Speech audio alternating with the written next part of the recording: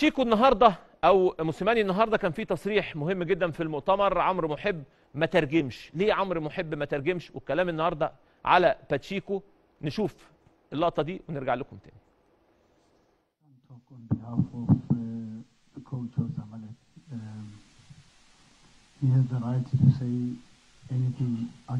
هو. بيقول لك هو بيس- انه مش هيعلق طبعا هو من يقول هو عايزه بس هو بيقول آه، أنا مشغول أكتر بنهائي كأس العالم في نهائي الماتش كنت بلعب كأس العالم آخر ماتش ليا وبفكر في بطولة أفريقيا. مش هرد مش محتاجين نرد ومتعود أسمع تصريحات زي دي بس هي النقطة إن ما أقدرش النهارده أفكر أقول هلعب النهائي ولا هلعب العب أول أول ماتش قدام المريخ. هتكعبل اللفظ حتى قال كلمة هتكعبل هقع على وشي. المفروض أركز أبص قدامي في اللي بحط رجلي فين.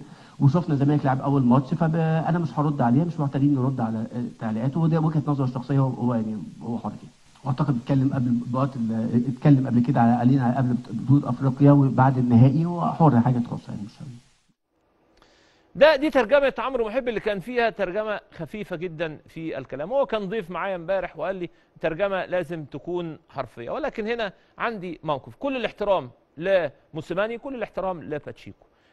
كان عندنا أزمة بقالنا فترة إن دايما إحنا طلعنا مصطلح هنا في البرنامج كل شخص يبص في ورقته. إحنا لا مع موسيماني ضد باتشيكو ولا مع باتشيكو ضد موسيماني. فإحنا في النهاية مع الصح. الصح إن كل بني آدم يبص في ورقته. باتشيكو الحقيقة ممكن يكون دي تاني مرة أو تالت مرة إن هو بيروح للخصم في حديث. أنت تتكلم أو تتحدث ممكن كيفما تشاء من وجهة نظرك. تتحم... تت... تتحدث إن أنت عندك طموح توصل للنهائي تتحدث عن صفقاتك على اللي أنت عايزه. ولكن ال... الذهاب في الحديث للخصم هي دي المشكلة. وهي دي كانت دايما المشكلة الفترة الماضية ما بين الأهلي والزمالك وكلنا عارفينها.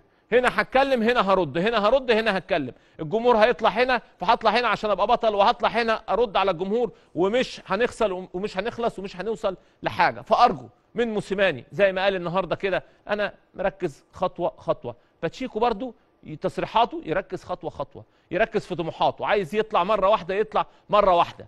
لا موسيماني ليه علاقة بنادي الزمالك ولا باتشيكو ليه علاقة بالنادي الأهلي؟ وده اللي النهارده رد عليه موسيماني في رد الحقيقة سياسي جدا جدا جدا. باتشيكو كان ليه قبل كده حديث عن صفقات النادي الأهلي وهي برضو مش في محلها لأن في الآخر كل نادي بيتكلم عن صفقاته بيتكلم على ظروفه. إما توصل إن يبقى في لقاء مع المنافس أو مع الخصم هنا ممكن إن أنت تتحدث عنه. أنا بتكلم كده عشان الأمور تمشي بشكل هادئ المرحلة القادمة.